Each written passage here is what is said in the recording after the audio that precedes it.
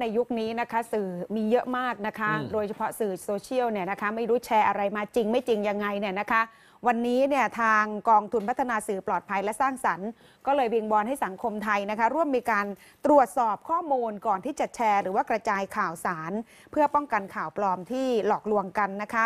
คุณอิทธิพลคุณปลื้มรัฐมนตรีว่าการกระทรวงวัฒนธรรม รองประธานคณะกรรมการกองทุนพัฒนาสื่อปลอดภัยและสร้างสรรค์ และนายวสันต์ภัยหลีกลี้ผู้จัดการกองทุนพัฒนาสื่อปลอดภัยและสร้างสรรค์ ร่วมกันเปิดงานกิจกรรมพลังสื่อสร้างสรรค์ สังคมไทยประจำปี 2562 ภาคกลาง ภายใต้แนวคิดผนึกกำลังสื่อสร้างสรรค์ สร้างนิเวศสื่อที่ดี เพื่อขับเคลื่อนพัฒนาสื่อ จากระดับจังหวัด ภูมิภาค สู่ประเทศ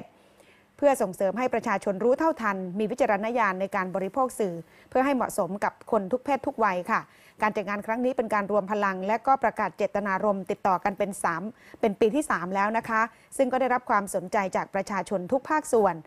งานนี้ยังมีการมอบรางวัลเชิดชูสื่อปลอดภัยและสร้างสรรค์ IM เรียกว่า TMF Awards 2019 นะคะ ให้กับผู้ผลิตสื่อดีเด่น โดยเชื่อว่าหลังจากนี้สังคมไทยจะให้ความสำคัญกับการตรวจสอบข้อเท็จจริงก่อน ที่จะมีการส่งข้อมูลข่าวสาร แล้วก็หยุดพฤติกรรมการกระจายข่าวสารที่เป็นข่าวปลอมข่าวลวง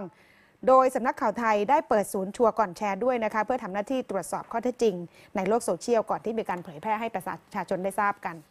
ครับ